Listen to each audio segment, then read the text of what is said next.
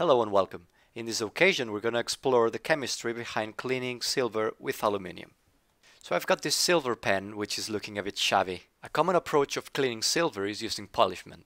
Through this method you'll literally scrape off this silver oxide layer which is black, so you're actually removing part of the material. And apart from that it's quite tedious.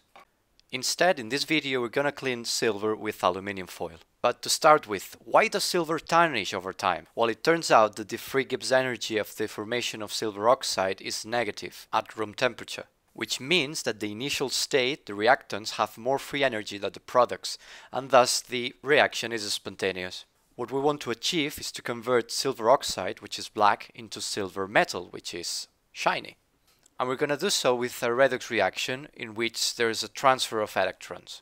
We want to reduce the silver in silver oxide to silver metal, and to do so we're using aluminium as the reducing agent.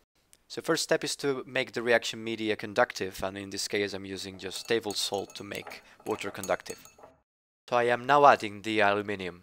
I'm cutting it into small pieces because I'm bored. You can add a layer of aluminium in the bottom of the flask and it works just fine. So I've left the pen soaking here for a while and let's see what we've got. You can clearly see the mark where the water level was. So we have converted silver oxide into silver metal and we've oxidized aluminium foil into aluminium ions. So I've left the pen in the solution for a bit longer and this is the end result. Pretty neat. This pen mechanism is also pretty awesome. Anyway, thank you for watching and I hope you found it useful.